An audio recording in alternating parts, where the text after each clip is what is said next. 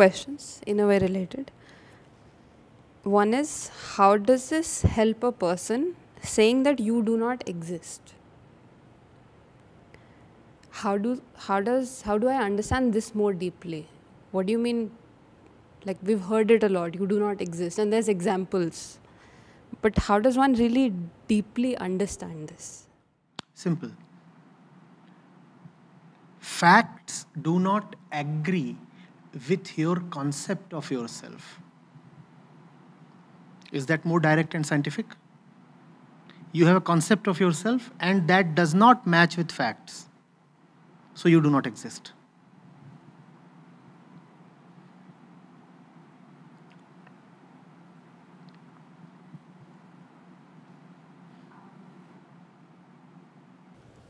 One thing you had mentioned that you're a constant flux.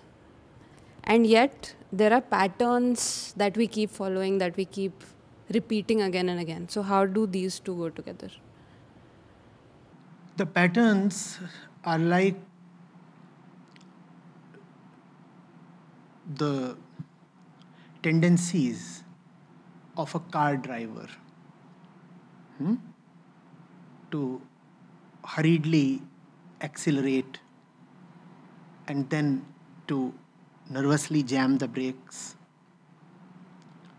He keeps doing that as he drives the car. The patterns belong to the driver.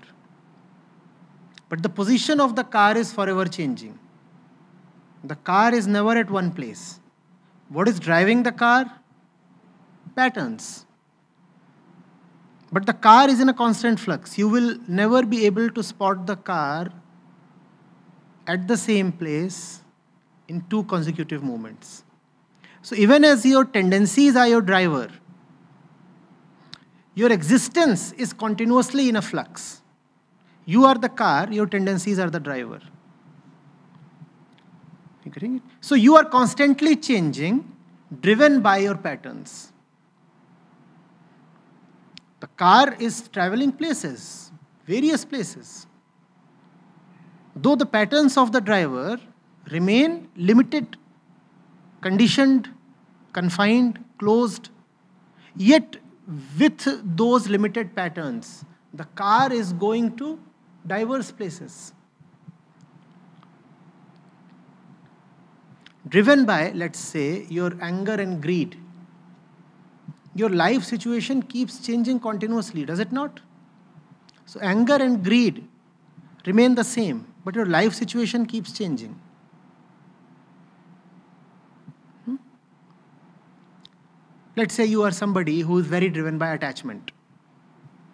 You're driven by attachment. But does the object of attachment remain the same? So today you are attached to one person, tomorrow you are attached to another person. If the person you are attached to knows that you are continuously in a flux and your tendency to be attached is your driver, then he will not take your attachment seriously. He just has to know that you are a flux.